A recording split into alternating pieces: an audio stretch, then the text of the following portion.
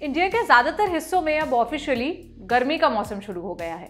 यानी लंबे बाल वालों के लिए जूड़े या पोनीटेल बनाकर रखने वाला सीज़न और इसलिए आज मैं पोनीटेल बांधकर दफ्तर आई थी। लेकिन दफ्तर आते ही मुझे पोनीटेल से जुड़ी ऐसी खबर पता चली, जिसने मेरे ज्ञान चक्षु खोल दिए। इसने मुझे उस पाप से अवगत कराया, जो मैं सालों से अनजाने में कर रही थी। पोनीटेल बांधकर लड़कों को उत्तेजित करने का पाप। पर केवल पोनीटेल बांधना पाप नहीं है कई और गलतियाँ हैं जो मेरे जैसी कई लड़कियाँ अनजाने में कर रही होंगी। तो मैंने सोचा, क्यों ना म्याऊ में उन लड़कियों को उन हरकतों के बारे में बताया जाए, जिसके कारण पुरुष उत्तेजित हो जाते हैं और लड़कियों को पता भी नहीं होता।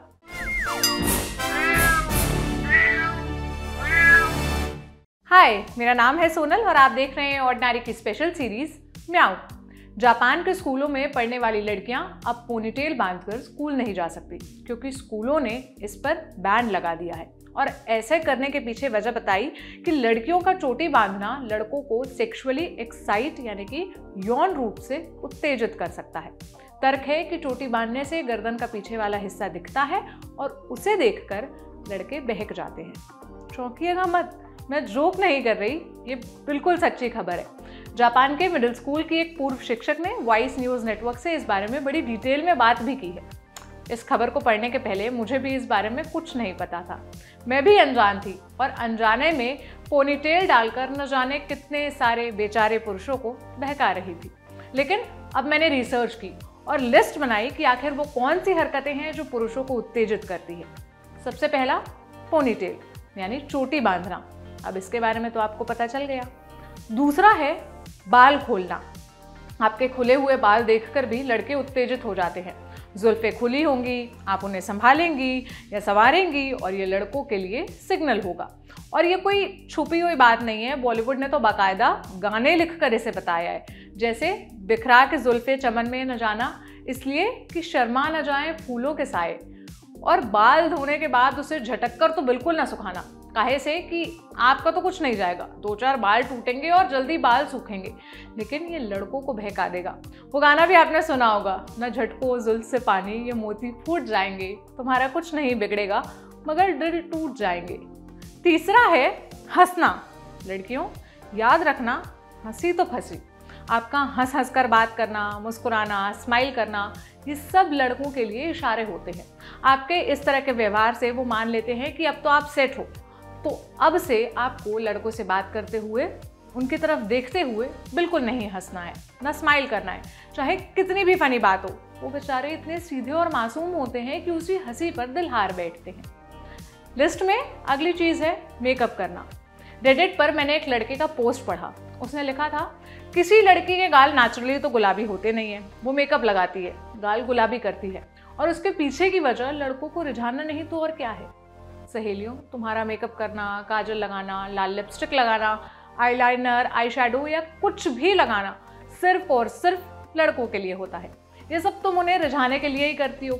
अब इन्हीं सबसे तो वो सिग्नल लेंगे और यही सब उन्हें उत्तेजित करेगा। वैसे मैं डिस्क्लेमर दे रही हूँ, मैंने लिपस्टिक किसी को सिग्नल देने के लिए नहीं लगाई है। इस लिस्ट में अगला नंबर है कपड़ों का मतलब सर्टन तरह के कपड़ों का, जैसे तुम्हारा क्रॉप टॉप पहनना टाइट जीन्स पहनना शॉर्ट्स पहनना स्लीवलेस पहनना, यहाँ तक कि चुन्नी का सरकना और पल्लू का खोसना भी लड़कों को एक्साइट कर देता है। क्रॉप टॉप के बारे में तो मुझे बहुत ही अमेजिंग कमेंट दिखा। क्रॉप टॉप में लड़कियों की कमर दिखती है। अब उसे देखकर कोई कैसे ना फिसले। और तो और स्कर्ट की लेंथ तक सिग्नल होती है, क्योंकि अगर स्कर्ट छोटी है तो तुम्हारे पैर दिखेंगे। और अगर लड़की ने पैर पर वैक्स करा रखे हैं तो फिर एकदम क्लियर है कि उसने ऐसा क्यों किया है। समझी? तो लड़कों को एक्साइट नहीं करना चाहती हो तो ये सब करना बंद कर दो।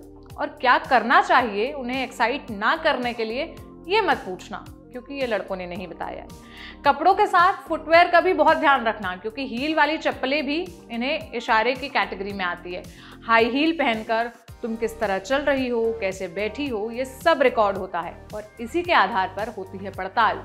इन्हीं सबसे लड़के लेते हैं सिग्नल और ये लिस्ट यहीं खत्म नहीं होती। तुम्हारा बात करते हुए टच ही होना, यानी छू छू कर बात करना, कंधे पर हाथ रखना, हाथ मिलाना सोशल मीडिया पर एक्टिव रहना इंस्टाग्राम पर फ़ोटोज़ पोस्ट करना, यहाँ तक कि तुम्हारा एग्जिस्ट करना, इस दुनिया में रहना, सब कुछ सिग्नल है।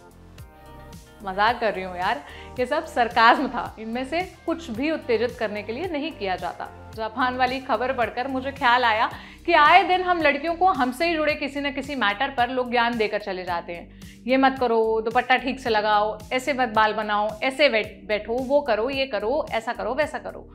क्योंकि हमारा कुछ भी करना लड़कों को उत्तेजित करता है। और मज़े की बात यह है कि लड़के अपनी उत्तेजना को कंट्रोल भी नहीं कर पाते।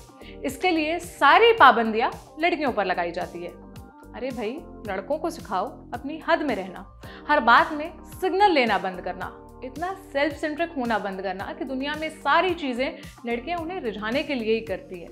हर ज्ञान और हर बैन लड़कियों के ऊपर लगाने की बजाय ज़रूरत है कि लड़कों को भी कुछ चीज़ें सिखाई जाए। वो ज्ञान थोड़ा लड़कों को भी दिया जाए।